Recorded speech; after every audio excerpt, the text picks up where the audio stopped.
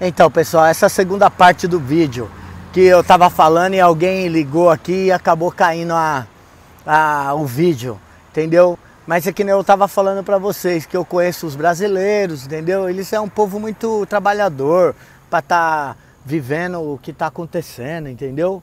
Olha aqui, ó, tô num cruzamento Internacional Drive com a Gran, Gran Nacional, entendeu, pessoal? Então eu vou finalizando por aqui, tá? Ficam com Deus aí. É, eu desejo melhoras aí para vocês também nesse país, tá? Eu tô voltando, mas é temporariamente. Só vou juntar um capital que eu tenho lá, vender algumas propriedades e tô mandando pé.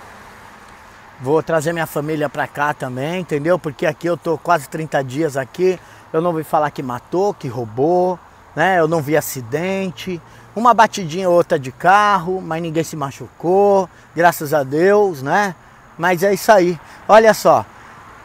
Em plenas 8 horas da manhã, eu aqui em Orlando, na Internacional Drive, fazendo caminhada. Eu nunca fiz caminhada no Brasil, pessoal. Não tenho nem coragem de sair naquela avenida com meu iPhone no, na mão, de óculos, do jeito que eu tô aqui, senão eu sou roubado.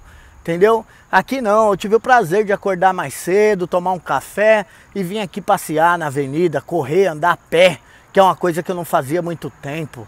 Tá bom, pessoal? É isso aí. O prazer aí, tá? Estamos aí. Precisar de mim, sabe onde me achar, tá bom? Fica aí o vídeo para vocês, tá? Falando um pouco da aqui de Orlando, da Internacional Drive. É isso. Falou, pessoal. Vou mandar mais vídeo, viu? Da hora para vocês.